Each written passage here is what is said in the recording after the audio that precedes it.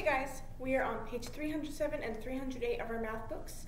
Um, we're going to be doing number 1, A and B, and number 2, letter A. Uh, we will skip number 3, we'll do number 4, number 5, A, B, and C, number 6, letter A, number 7, and number 8, letter A.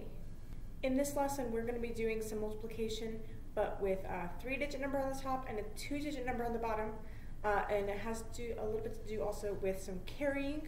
So let's go ahead and do a practice problem real quick. Letter A on page 307, we have 123 times 56. So we're still doing the same thing. We're going to ignore that 5 and just do 6 times 123, just like it was a normal multiplication problem. So let's go ahead and do that. 6 times 3 is 18. So we put the 8 down here. 1 goes up here because it's being carried.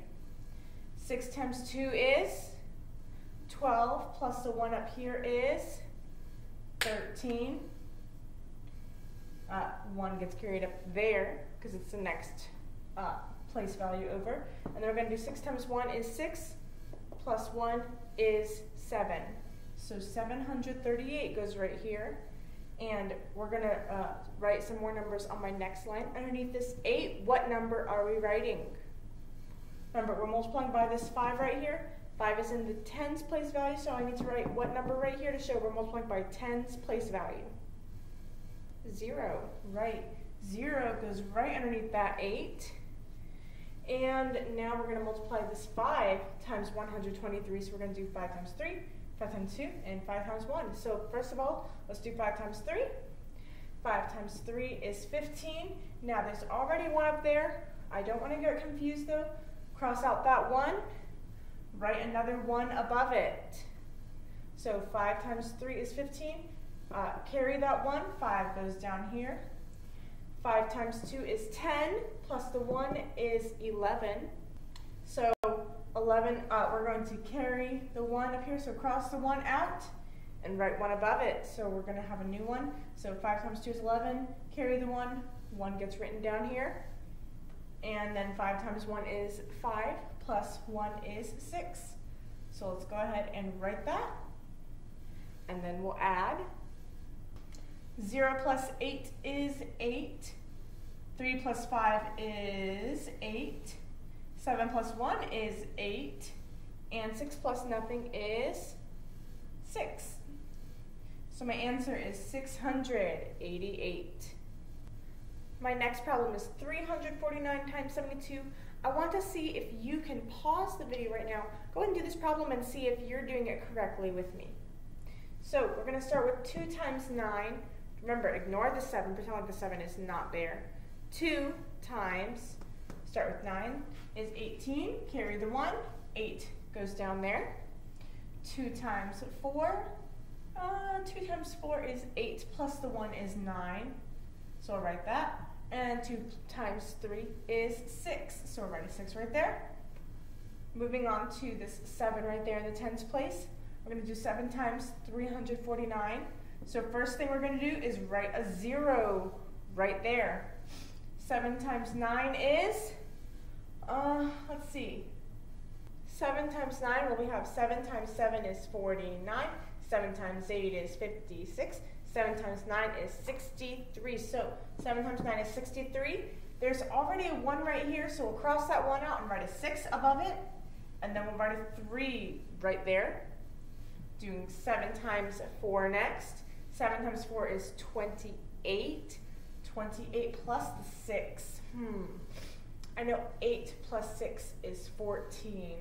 So 28 plus 6 has to be uh, 34, I believe. So I'm going to write the 3 above the 3 and 4 right there. 4 times, or I'm sorry, 3 times 7 is 21. 21 plus the 3 is 24. Draw a line underneath and add it together. I have 8 plus 0 is 8. 9 plus 3 is 12, 6, oh wait, I need to carry my 1. I need to carry my 1. So I have 6 plus 4 is 10, plus the 1 is 11, and carry the 1 again. And 4 plus 1 is 5. And 2 plus nothing is 2. So my answer is 2000, or 25,128. My next problem is a story problem on page 307, number 2, letter A. It says, at the grocery store, mom purchased milk for $3.35, tomatoes for $3.29, two pounds of sliced turkey for $6.98 per pound, and bread for $2.68. How much did she spend in all? So let's go ahead and put these numbers down. I have milk. She spent $3.35 for milk. I have tomatoes, $3.29. I have two pounds of sliced turkey for $6.98 per pound. So I have $6.98. And I have bread for $2.68.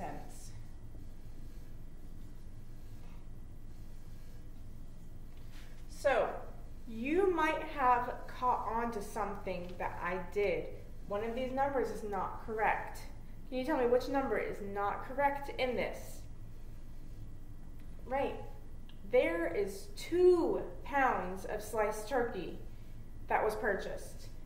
And I put it down as if it were one pound of sliced turkey. That's this number right here, $6.98. So that number's not correct. So let's go ahead and erase that number. And how am I going to figure out how much turkey, or how much that turkey costs, should I say?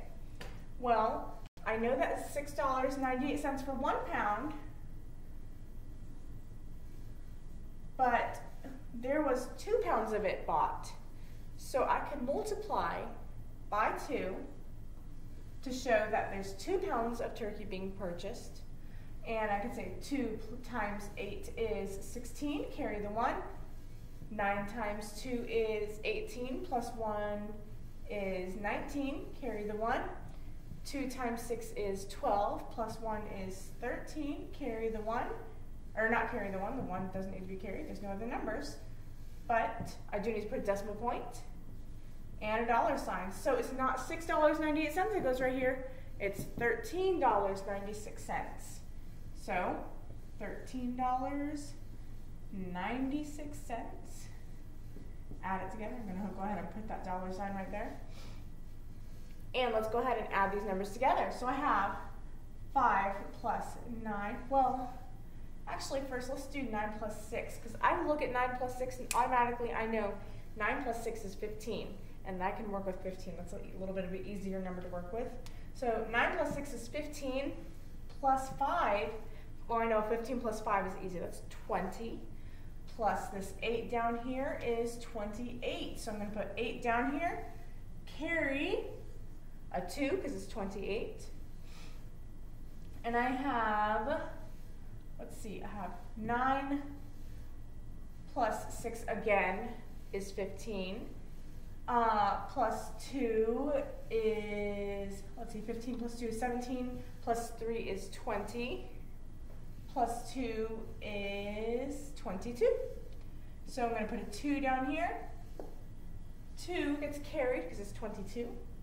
And I'm going to go ahead and add these numbers together. I have 1, 2, 3 threes. I know 3 times 3 is 9. It's just 3 plus 3 plus 3 is 9. That's what 3 times 3 is. So I'm 9, 10, 11, 12, 13. But I'm not going to put a 1 right here because I already have 1 here, so I need to carry this 1 as well. I have a bunch of dollar signs, those aren't numbers, so I can't add dollar signs. But I do have 1 right there, so I have 1 plus 1 is 2. And of course, I do need a dollar sign to show that I'm adding this together. And I'm still missing something. What am I still missing in this problem? It's very important because without it, my answer is $2,328. And I don't think that mom spent that much on groceries. Something tells me she didn't. But it does sound a little bit more reasonable if I bring down my decimal point that mom spent $23.28 on groceries. And make sure that you have this written down as your answer. On page 308, number four is a division problem.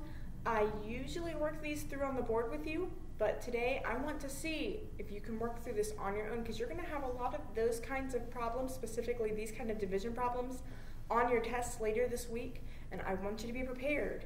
And if you realize today that you really don't know how to do it, then it's something that can get fixed early this week instead of later later this week when you do have the test. It's something that's going to be a problem. So work through number four on your own. If you're having problems with it, then you know that you need to work on fixing those problems. Uh, number five, A, B, and C, I'll work through letter A with you because you will see problems like this on your test as well.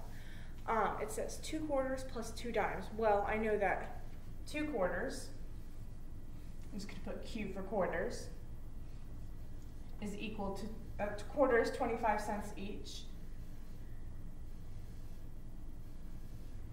25 cents.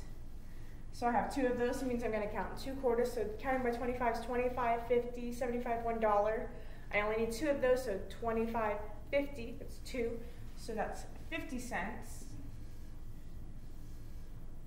I know, I just put, I, I just put $50. I'm supposed to put 50 cents. We put a decimal point right here.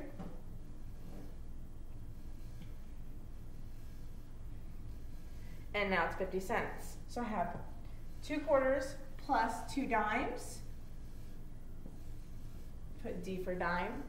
And I know a dime is worth 10 cents two of those, if I count by 10 two times, or 10 times 2, I have 10, 20. So I have 20 cents. So I have 50 cents plus 20 cents, and 50 cents plus 20 cents is 70 cents. Uh, make sure when you're writing your cents I would prefer you to write your cents with a dollar sign and a decimal point. Okay, I know that that cent sign, that, uh, that cent sign, C with a line through it, that's easy, that's convenient, but we don't really use that a lot, when, especially when we get into higher math grades. We use this one a lot because it's a lot more common and even like like out when you're buying something, I mean you might see this a little bit, but you're going to see this a lot more. So I want to be more familiar with this, so I want you to write it like this in your books. The rest of this page, I really want you to kind of work on your own. The rest of number five, number six, number seven, and number eight.